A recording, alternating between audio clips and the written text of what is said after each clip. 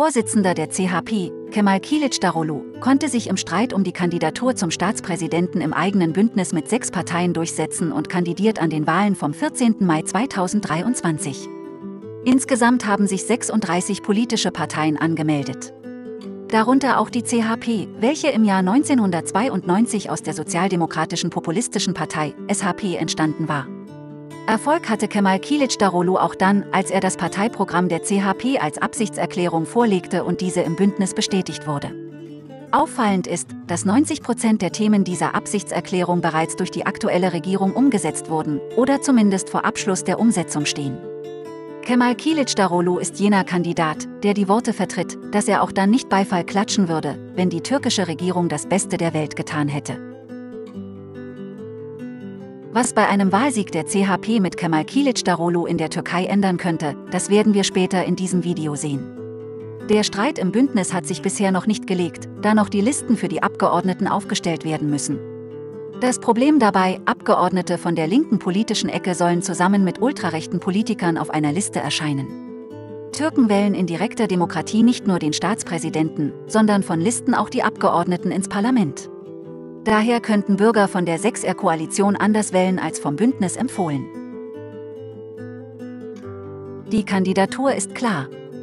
Kemal Darolu von der größten Oppositionspartei der Türkei konnte sich innerhalb der eigenen Koalition durchsetzen. Die Abkürzung CHP steht für Republikanische Volkspartei.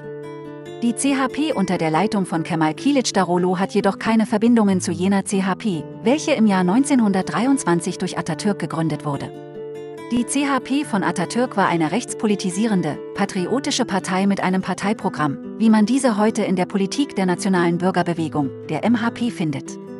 Die von Atatürk gegründete CHP wurde früher nach einem Militärputsch verboten und aufgelöst. Im Jahre 1985 vereinten sich Mitglieder der populistischen Partei, HP mit der Partei der Sozialdemokratie, der SODEP von Erdal İnönü zu einer neuen sozialdemokratischen, populistischen Partei, der SHP.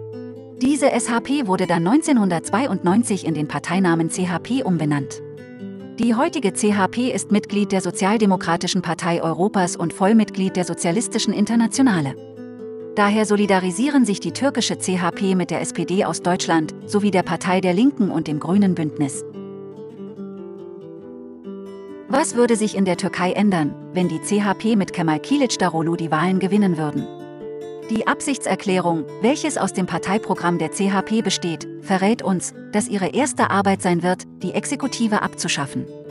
Das bedeutet, die Türkei hätte wieder eine parlamentarische Demokratie, wo auch eine Volkswahl keinen Sinn mehr machen würde, weil das Staatsoberhaupt laut CHP nicht mehr einer politischen Partei angehören würde. Das wäre das Ende der direkten Demokratie in der Türkei. Um auch die HDP als siebte Partei für die CHP an die Urnen zu locken, wurde auch über bis zu sieben Regierungschefs und einer Föderation mit lokalen Verwaltungen gesprochen. Sie wollen so die Türkei in kleinere Länder spalten. Um HDP-Wähler und PKK-Sympathisanten zu gewinnen, möchte die CHP bei einem Wahlsieg mehrere inhaftierte Kriminelle aus der Haft entlassen und verzichtet bei politischen Veranstaltungen auf das Bild von Atatürk und die türkische Flagge. Zu guter Letzt möchte die CHP auch das Wort Türke aus der Verfassung streichen. In der Wirtschaftspolitik der CHP werden die makroökonomischen Maßnahmen sofort beendet. Dazu gehört unter anderem das währungsgeschützte Festgeldkonto, welches die Lira im letzten Jahr stabilisiert hatte. Auch der Wirtschaftsboom soll durch Heben des Leitzinses abgebremst werden, damit die Inflation sofort gesenkt werden kann. Auch den Forderungen der USA und Europa möchte die CHP folgen und das Thema S-400 erneut angehen, um wieder im F-35-Programm aufgenommen zu werden. Damit möchte die CHP eine Türkei, die dem Westen gefällt und vergisst dabei, dass es bei den Wahlen in der Türkei um die Türken geht. Die USA und Europa unterstützen die CHP gerade deshalb umso mehr. Denn auch die USA möchten Erdogan nicht mehr in der türkischen Regierung sehen, weil ihnen die Souveränität der Türkei zu weit geht. Das türkische Volk hat am 14. Mai das letzte Wort und geht an die Urnen.